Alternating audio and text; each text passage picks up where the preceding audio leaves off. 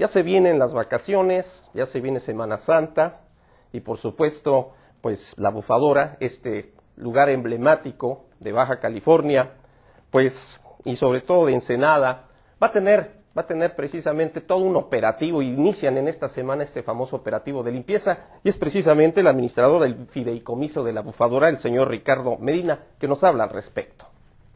Un operativo de, limpieza en la zona de la bufadora, eh, lo hemos hecho cada año, tenemos dos operativos en el año, lo que es Semana Santa, lo que es finales de principios de julio, finales de julio.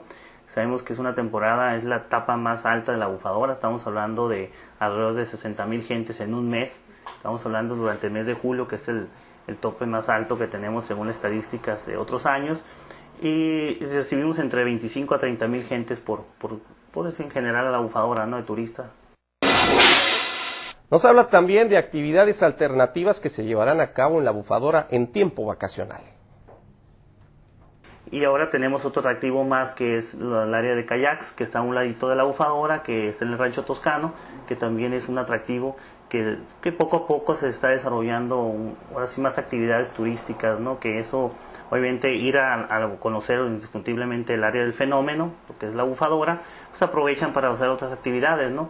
Y parte de ello, pues queremos implementar el, servicio de vigilancia. Ya tenemos vigilancia nocturna, pues se puede decir las 24 horas. Eh, estamos por instalar una ambulancia, lo que es en la Semana Santa, como un operativo. Eh, estamos haciendo unos ajustes ahí para cumplir, cubrir el servicio de, ambulancia los días más altos, que es sábado y domingo, y dos o tres días por entre semana, ¿no? Y se dará mantenimiento a la área para preservarla y para que los visitantes cuando lleguen pues la tengan, la tengan a bien como debe de ser la bufadora.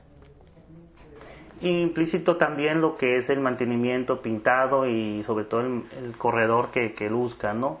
Estamos en pláticas con el Consejo Consultivo, que son los representantes de la bufadora, para que en conjunto podamos llegar a, unas acciones para mejorar la zona, ¿no? Y podamos recibir con, con mejor seguridad, sobre todo, y, y limpieza, ¿no? Al visitante. ¿no?